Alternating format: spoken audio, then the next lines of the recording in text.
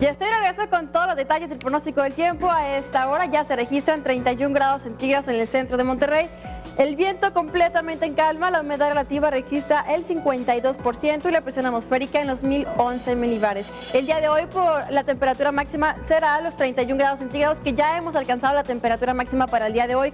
El cielo completamente despejado y se mantiene el cielo completamente libre de nubes para el día de mañana miércoles con las mismas condiciones de temperaturas. A partir del día jueves incrementa la nubosidad a parcialmente nublado, temperatura mínima de 22, máxima que estará registrando los 30 grados centígrados. Para este fin de semana se mantiene el cielo parcialmente nublado, pero llegan nuevamente las lluvias a Monterrey, las temperaturas mínimas oscilando de los 21 a los 22, máxima de 32 para el día viernes, el sábado alcanzando los 30 grados centígrados y para el domingo en 28 grados.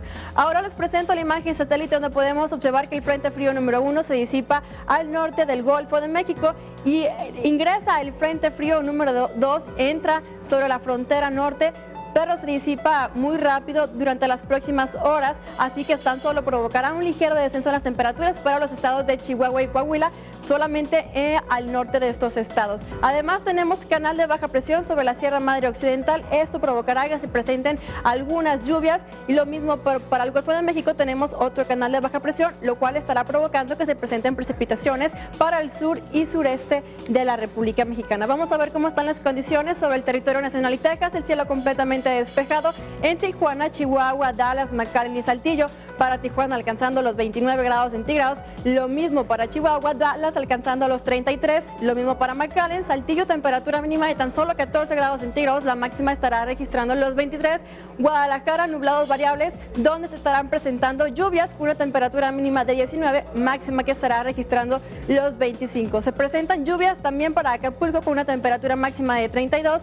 Lo mismo que en Cancún, Veracruz alcanzando los 33 grados centígrados. Para Hermosillo la temperatura máxima estará alcanzando los 40 grados, el cielo completamente despejado. Lo mismo para San, Antonio, el sol a todo su esplendor alcanzando una máxima de 36. Lo mismo en Laredo, Tampico, temperatura mínima de 23, máxima que llegará a los 32.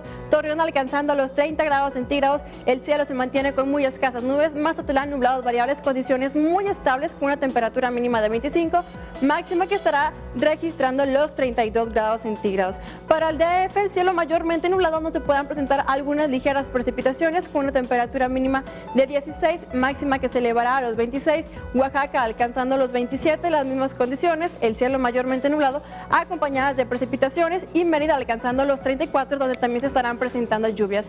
El día de hoy el sol salió a las 7 de la mañana con 30 minutos, la puesta será a las 7 con 34, lo cual nos dará un total de luz 12 horas con 4 minutos.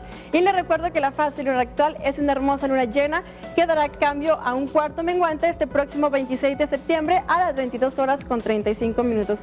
Más adelante, más información de pronóstico del tiempo. Se está comiendo que tenga muy buen provecho.